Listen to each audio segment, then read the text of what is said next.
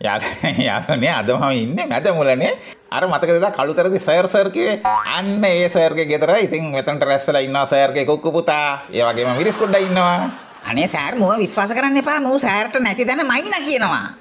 ඒකට කමක් නැහැ මිරිස් කුඩ්ඩෝ. මූ විතරක් නෙමෙයි රටම තාත්තට මයින්න කියනවා. ඔයා ඒක දන්නවද? ඔව් ඔව් ඒ විතරක් නෙමෙයි මට පොඩි මයින්න කියනවා. ඇත්තට ඇත්තටම එහෙම කියන්නේ නැහැ. මං ආසයි එහෙම කියනවට. කොට උඩ ඇත්තට මූ සල්ලි දීලා එහෙම කියව ගන්නවා. එතකොට අර ඔයා හිතන්නේ තාත්තට අර ඉස්සර වගේ මහරජා කියලා ජනතාව සලකනවා කියලාද? අනේ අයි එහෙම නෙමෙයිද කොට උඩ? තාත්තව නිකමට වගේ තනියම ඉරිදපොලට දවසක් කරලා බලන්නකෝ ජනතාව අතරට මොකද වෙන්නේ කියලා. ආ, යාළුවනේ නැවතත් අද අපි මැදමුලනේ ඉන්නේ එතකොට සර් අර 2015 පැරදිලා ගිහිල්ලා වවුලෙක් වගේ ගිහිල්ලා ජනතාව ඇමතුව ඓතිහාසික ජනේලෙ මොකද්ද? ඔන්න ඉස්සරහ ජනේලි කොට උඩ. ඒක අපි සංරක්ෂණය කරනකොට උඩ ආ ඇහැ, දැනුත් සරට පුළුවන් දේ ජනේලෙ එල්ලෙන්න පුළුවන් කොට උඩ. ඔට්ටේ බෑ එළිල වෙන්නන්නේ මිරිස් කුඩෝ එහෙමයි බුදු සෑර්. ඔන්න ඔය කොට උඩට පේන්න මාව මේ ජනේලෙ එල්ලපන්. ආ එන සෑර්. හරි හරි නෑ නෑ ඕන්න ඕන්න හරි හරි මූ මූ මේ කින්ඩියට සෑර්ගේ ප්‍රශ්න අහන්නේ. කොට උඩ මම උඹට නෙලනවා මිරිස්කුඩු පාරක්. ඇත්තටම ඌ කින්ඩියද දැම්මේ ඇයි සර් අසනිපෙන්ද මගේ කවුල් දෙක පොඩ්ඩක් මිරිකපා මිරිස් කුඩ්ඩෝ. ආ හොඳයි සර් හොඳයි. මොකද බං ඇබෙරින්නේ? අනේ බුදු සෑර් කකුල් දෙක විතරද මිරිකන්න ඕනේ.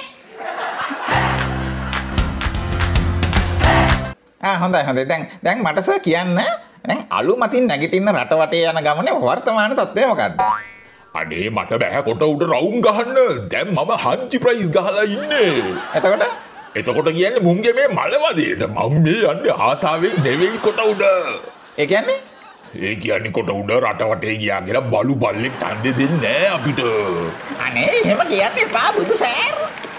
කොට උඩ මට කියපන් කවුද ඊළඟ බලයට එන්නේ කියලා. මේ තාත්ති තාත්තේ හොල්මන් කතා කියන්න එපා තාත්තේ මේ ගොම්මන් එලයි.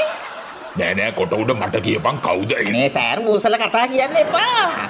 කොට උඩ උඹ ඵලයෙන් යන දිහාට පවුනදී. ආ හරි හරි හරි අපි වෙන දෙයක් කතා කරමු අර ඉස්සර හිටපු කපටි වංශ එතකොට ගොන් ගොන් පිල දැන් දෙන්න වෙන පාරක යනවා නේද සර්ව තනි කරලා ආ නෑ නෑ කොට උඩ මාව දැක්ක ගමන් උන් ඇක් ගහනවා. ආ ඒ කියන්නේ ආ හරි හරි මාත් එක හිටියෝ දෙන පාර ඡන්දෙදි සදා සොත්ති කියලා උන් දන්නවනේ කොට උඩ.